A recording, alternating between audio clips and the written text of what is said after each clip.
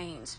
The grisly discovery made about a mile offshore east of Blue Harbor Resort. There is no identification or cause of death. Local fast food workers back in the headlines tonight. Record-breaking profits that McDonald's himself alone has been uh, been making. They should be compensating the workers for, um, you know, for the wages that they actually deserve.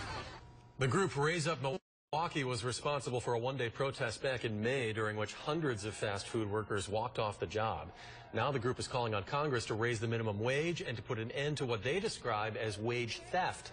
They say many fast food employees are forced to work off the clock and to use fee-laden pay cards to collect their wages.